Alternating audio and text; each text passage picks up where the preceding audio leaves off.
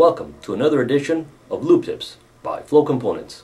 On today's episode, we're going to discuss gauges, why they're an essential part of any automatic lubrication system, and how to use them.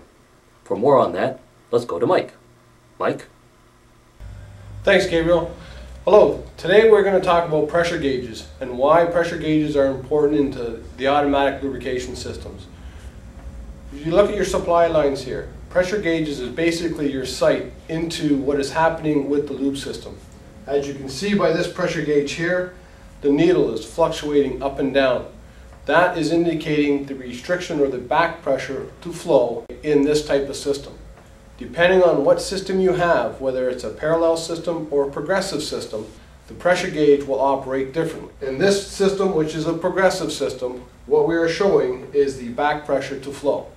So the pressure gauge will fluctuate up and down until the pump stops. Then the pressure will slowly decrease back down to zero. In a parallel type system, the pressure gauge will go up to a specific point, hold it there, the metering valves will fire, and then the pressure will fall. The pressure gauge will give you indication on whether the system is working or not working. As in a progressive type system, the pressure gauge will go up, and if you hit high pressure and it stays there, that gives you indication that there is a problem and that you need to go into the troubleshooting. So in conclusion, if your current systems do not have pressure gauges installed into the supply lines, do yourself a favor and get them installed. Have a good day. Back to you, Gabriel.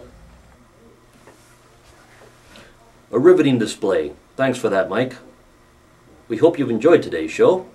For more information and tips, check out our website, flocomponents.com. Until next time, thanks for watching.